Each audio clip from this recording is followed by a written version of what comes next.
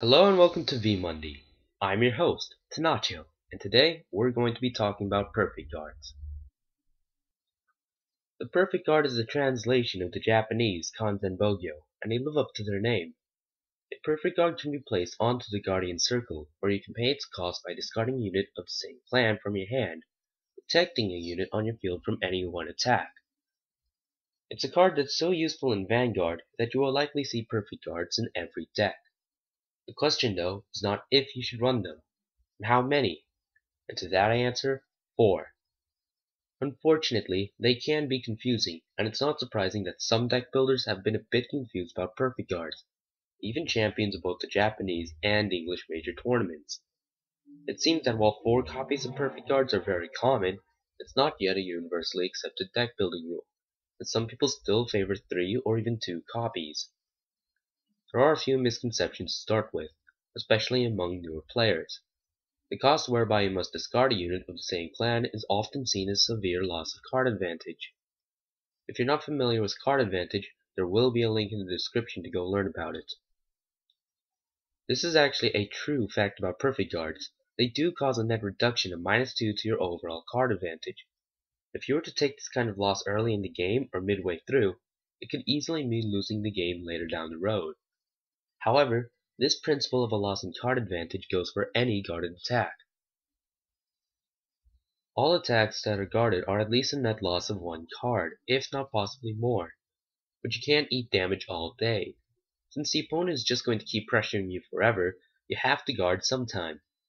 It's best to guard as little as possible and as early as possible, the concern for stopping damage at all costs comes when you reach 4 or 5 damage.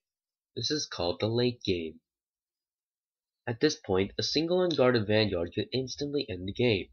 Even at 4 damage, your opponent could easily check a critical trigger, which would mean your loss. This is where perfect guards come in. Vanguards have a knack for gaining obscene power, especially during that crucial period in the late game. If Dark Lord of the Abyss is attacking you for a ridiculous 46,000 power, are you going to lay down anywhere from 5 to 9 cards to try to stop it? A perfect guard can stop it with only the loss of 2 cards. Experienced players will know that this is not a situational play. Massive power or high critical units are commonplace in the late game of Vanguard. But again, it's not if you should run them, but how many. For most cards, how many should I run is usually dependent on the structure of the deck. Primary strategies try to maximize both themselves and anything that directly supports them, but if powerful and independently useful cards like perfect guards exist, then you should run the maximum legal allowance.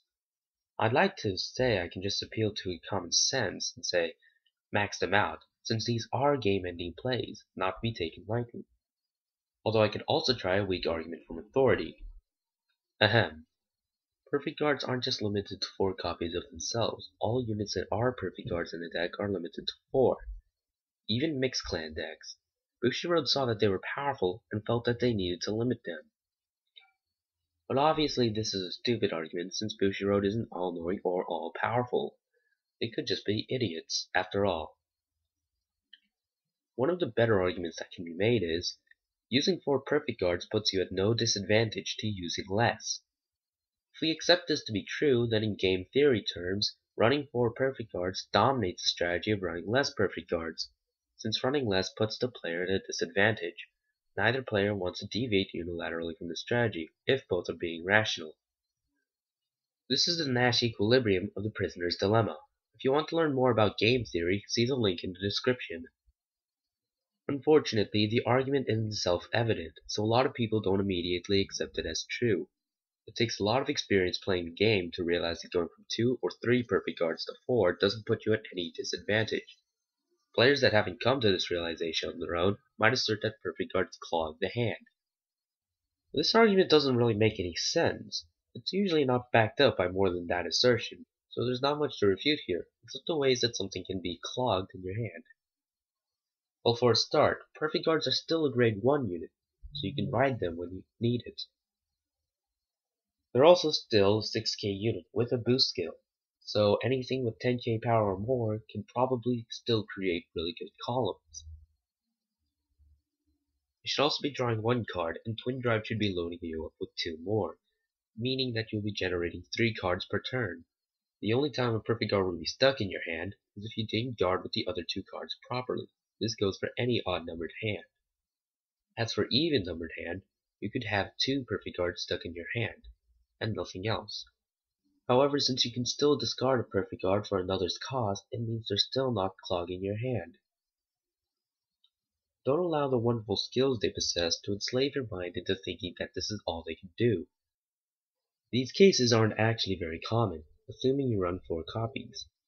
Assuming you have 4 copies, the probability that you're forced to ride a perfect guard after a mulligan of 3 is about 8%. If you had 3 copies, it would be about 5%. If you only had 2, it would only be 3% of the time. You can see from 4 to 3 is the biggest change, a 3% difference, and from there 3 to 2 is less significant, only a 2% difference. These changes are statistically insignificant. For reference, the chance to damage check a given card from your deck is about 10% of the time. You are more likely to damage check the perfect card than be forced to ride it. If you want to learn more about this kind of probability, check the link in the description. While we're on the subject of probability, let's go look at the frequency of different copies. When you have a deck of 49 cards just before the game begins, there's a certain expected frequency of each card in the deck according to how many copies you run. For 4 copies, you're likely to see the card about once every 12 cards. At 3, you'll run into it about every once in 16. And at 2, you should see the copies every 25 or so cards. These all assume normal distribution, that is, each card is equally likely to appear randomly and your deck is shuffled properly. What we expect is to see four perfect cards twice as often as only two copies of it, and only a one to third time more than three copies. This is a key component in frequency. In Vanguard, by the time a grade 3 hits the field, you're capable of grabbing up to 3 cards from your deck each turn. The average number of cards you want to remove from your deck at that point is usually around 9. So your turn 3 is going to remove 3 more, exactly 12. That means at 4 copies, you should be seeing your first perfect card, on average, at the start of the mid-game. From there, it's simple math. 3 goes into 12 four times, so in 4 turns, you get another. That's usually when you're in the late game. So unless you have some nice drawing power, you're likely to only see 2 of your perfect guards per game if you run the maximum. At 3 copies, you start at 9 and have to reach 16. Since we know that when turn 3 ends the count is 12, you need about one more turn to expect to see your first perfect guard. Simple math comes. 3 goes into 16 slightly more than 5 times. So it'll take another 5 turns after one turn, or turn 3. That's usually around turn 9. With the previous example, late game was already barreling down by turn 7. In other words, if you really needed that second perfect guard to survive the game, Running 3 instead of 4 could leave you 2 turns behind drawing it, which isn't ideal. You're now 2 more turns into the game than where you should have been to see your next perfect guard. The worst part is, some things aren't the average. Sometimes they deviate in the standard fashion. That standard deviation could just as easily cause you to completely miss getting a second perfect guard as it could to get you sooner. The sooner in this case is a deviation of two turns, meaning you'll end up right back where you started at 4 copies. Running 3 copies means a risk of the three outcomes being not getting it, not getting it on time, and getting it just at the nick of time. With two knots compared to a single statistical anomaly of getting it, that's not a good outcome, and it doesn't get any prettier with two copies. At that point, you need turn 7 at the very least before you'll see even one perfect card on average. Vanguard goes at a very specific pace. Being off by even a single turn to get your life-saving card could mean a loss, especially when there's so many decks capable of pulling extra criticals every second or third drive check. More especially is when you're up against ever common aggressive decks which push for damage early. These kinds of things can stop you from getting your second perfect, possibly even one. As of 11 announced Japanese sets, there have been no monoclan builds that do strictly better by running less perfect guards, not even rush decks. Even the angel feather decks, which commonly only run 3 because they can get it from the damage zone, are only doing themselves a disservice by cutting off their access to having more perfect guards than the opponent. Bermuda Triangle's Pacifica build should especially use 4, since her hand swapping ability every turn plows through one more card and gives just that much more of a chance at getting more than 2 perfects, or securing 2 against a damage intensive opponent. I can understand the sentiment, it doesn't leave much room for my other cards.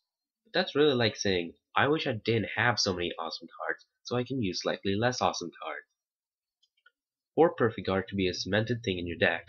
Before you do anything else, you know you need to have 16 triggers and a starting vanguard. Mark down 4 or more as perfects and the total comes to 21. If the deck strategy can't fit within the remaining 29 cards, it probably needs to be refined. If you treat your deck right, it will, on average, treat you right. So to wrap up, perfect guards should be in every deck. Four perfect guards means that you're likely to get at least two of them, which you will need to stop dying. Less perfect guards means you're unlikely to get two of them, and sometimes possibly not even one. The chance that you're forced to ride a perfect guard is all but negligible, but they can still be called to boost. You also shouldn't be clogging your hand unless you guarded it properly. And after all, they will save your bacon.